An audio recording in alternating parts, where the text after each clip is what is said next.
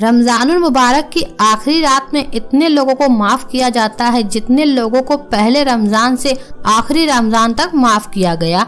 लेकिन कुछ ऐसे भी लोग हैं जिन्हें रमज़ान की रहमतों का सैलाब भी फ़ायदा नहीं पहुंचाता। इस वीडियो में मैं बताऊँगी कुछ ऐसे लोग जिनकी बख्शिश रमज़ान में भी नहीं होगी। जानिए कौन है, वो कौन लोग हैं, इनसे बढ़कर और बदकिस्मत और कौन हो सकता है। इसलिए वीडियो को आखिर तक पूरा ज़रूर देखिए। कहीं मत जाइए, वीडियो को लाइक और चैनल को सब्सक्राइब कर दीजिए। मैं अभी आई।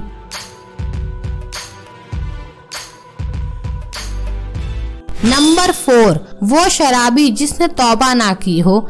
शराब इतनी गंदी चीज़ है कि दिल को गंदा करती है। जिस तरह पेशाब एक गंदगी है, उसी तरह शराब भी।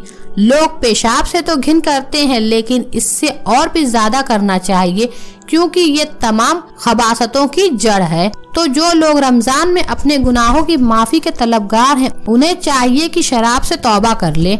हदीस शरीफ में आता है कि एक बार शराब पीने से 40 दिन तक नमाज़ कबूल नहीं होगी। नंबर थ्री, वालिदैन की नाफरमानी करने वाला। दूसरा आदमी जिसकी मगफिरत नहीं होती, वो है वालिदैन की नाफरमानी करने वाला। जरा सोचिए, जिस माँ ने नौ महीने बच्चे को पेट में रखा हो, फिर जिस हालत में उसको पैदा किया, वो सिर्फ़ उसकी माँ से पूछो। फिर दो साल तक अपने जिगर का खून पिलाया, जिसे दूध कहते हैं।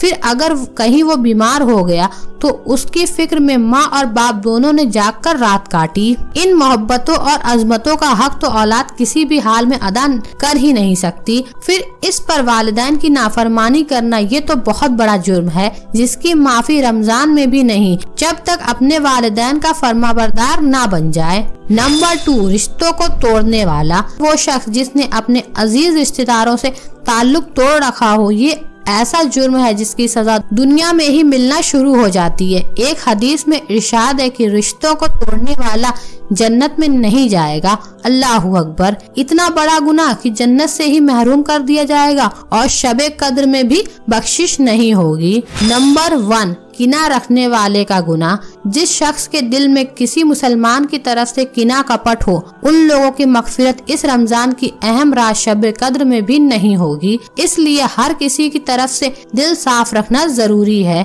आखिर में मैं इतना कहूँगी कि अगर हमें ये रमज़ान मिला है तो इसको अल्लाह की रहमत समझो, वरना पता नहीं अगला रमज़ान मिले ना मिले। इसलिए अगर शराब का आदि हो, वालदेन का नाफरमान हो, रिश्तेदारों से ताल्लुक तोड़ रखा हो, या किसी मुसलमान से हसद जलन और किना रखते हो तो अल्लाह के हुजूर तौबा कर ले। अल्लाह बड़ा गफूर रहीम है। आपको लगता है कि ये वीडियो किसी के थोड़ा भी काम आ सकता है तो उसके साथ शेयर ज़रूर करें। रमज़ान में ये कुछ काम जिसे बिल्कुल भी ना करें, जिसे हर मुसलमान को मालूम होना चाहिए। जानने के लिए एंड स्क्रीन पर आ रहे वीडियो को अभी देखें और शेयर करें।